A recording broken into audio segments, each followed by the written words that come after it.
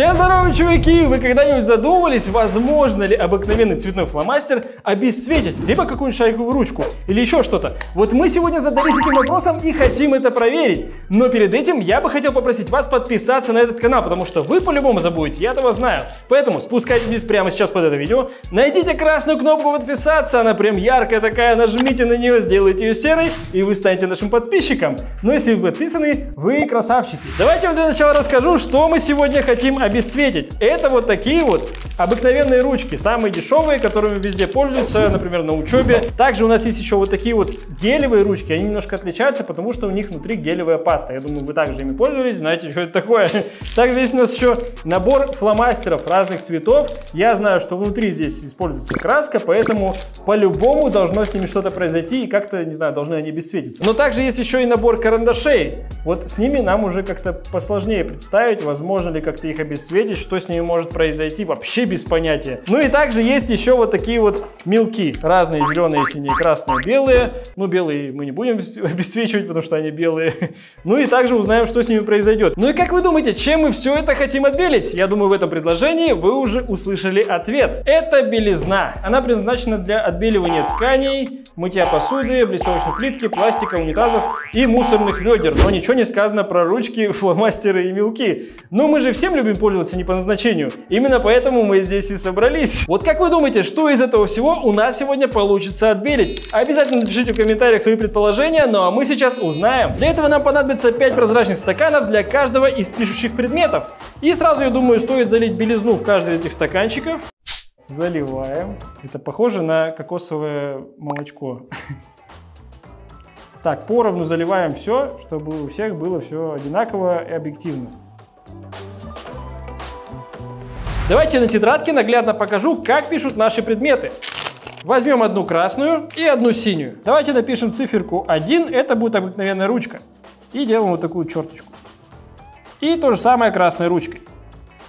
Далее берем гелевую ручку, также красную и синюю. Гелевая ручка у нас будет под цифрой 2. Также делаем черточку и то же самое красной ручкой. И далее фломастеры. Берем один красный и один синий. Цифра 3 это у нас фломастеры. Также делаем черточку синим и черточку красным. Также берем карандаши, красненький и синенький. И делаем черточки по цифре 4. А для мелков у нас есть специальная дощечка. Так, открываем коробочку и выбираем красный цвет. Делаем черточку красным. А вторую черточку также синим мелком. Ну что, все у нас пишет замечательно. Осталось только погрузить все это в нашу белизну. Начнем, например, с мелков. Отправляйся в белизну. Карандашики. То же самое делаем с фломастерами. Ну а с ручками у нас все посложнее, потому что их нужно разобрать. И тут что-то как-то странно, паста перетекает. Я ни разу таких ручек не видел, гелевых на самом деле. Так, у нас есть плоскогубцы. И аккуратненько сейчас это вытаскиваем. Так, о, е. Давайте именно такой стержень и опустим в белизну. Красненький.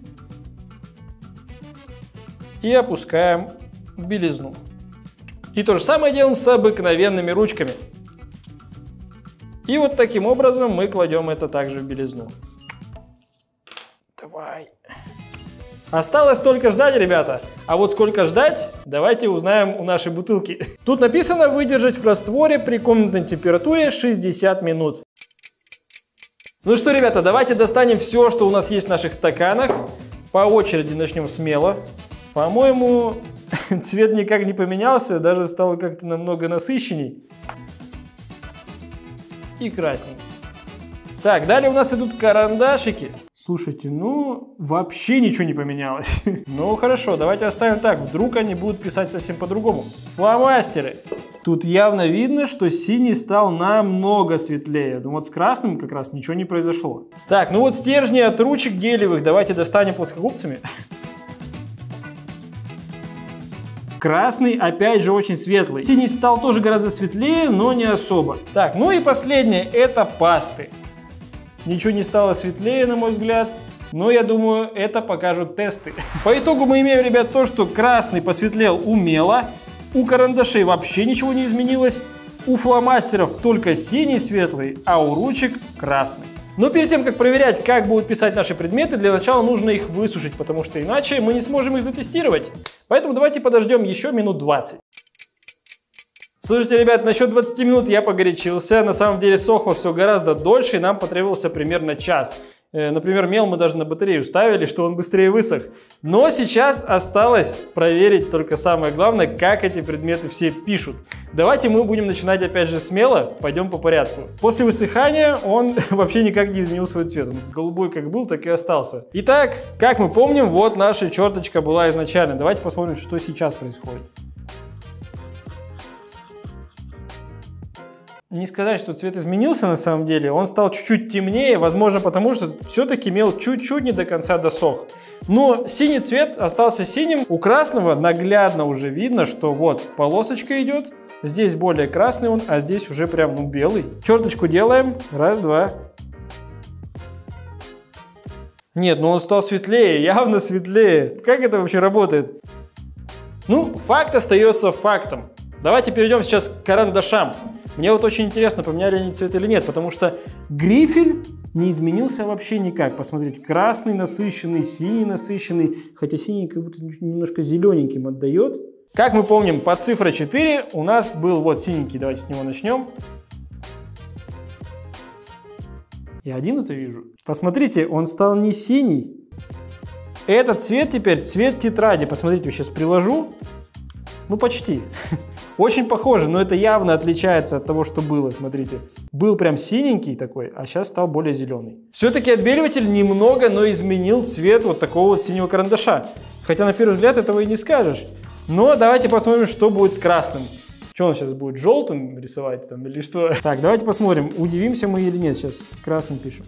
Он разваливается. Еще разочек. Но нет.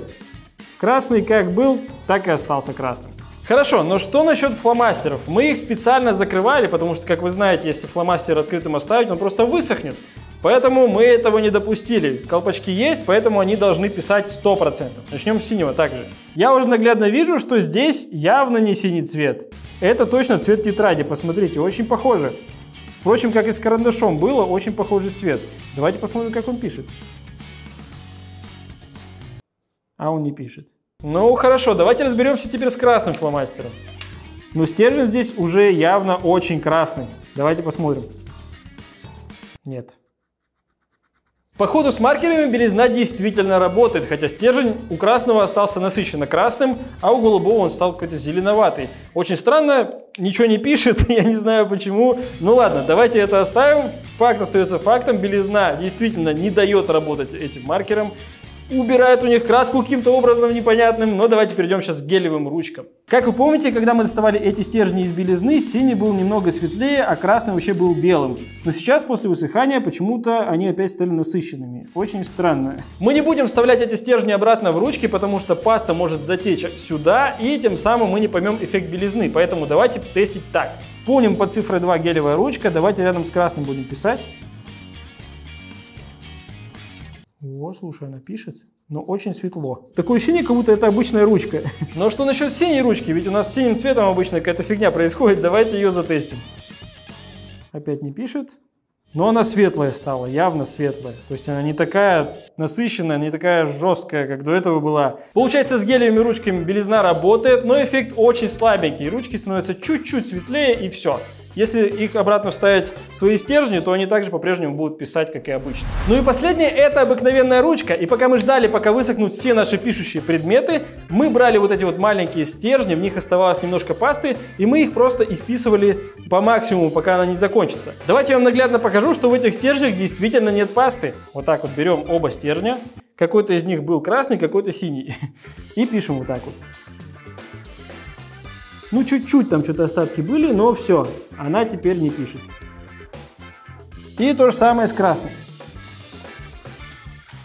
Красную мы, видимо, исписали еще лучше, потому что там вообще ничего нет. Давайте при помощи плоскогубцев ставим эти стержни обратно. И второй. Готово. Это чтобы начало писать просто. Я так делаю. Так как все-таки кончик пасты здесь находился в белизне, значит он первый и начнет писать. По идее, должен быть какой-то эффект. Давайте проверим. Давайте начнем рядом синий пишем. Раз, два, три. Ну, по-моему, ничего не изменилось вообще. Она как писала, так и пишет. Теперь красная.